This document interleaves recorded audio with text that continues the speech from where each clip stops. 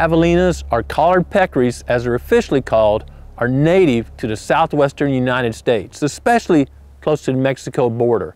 And they extend all the way through Central America and down into the northern portion of South America.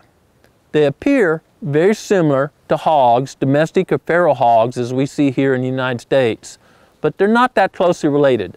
They're not even in the same family when we look at family genus species. Like hogs, bears, and other predators, they're omnivores. They will eat meat and plant material. A good indication that they eat meat is their very sharp tusk, but they're also used as a weapon when they're threatened by other animals or potentially even humans. It's very rare that javelinas chase humans.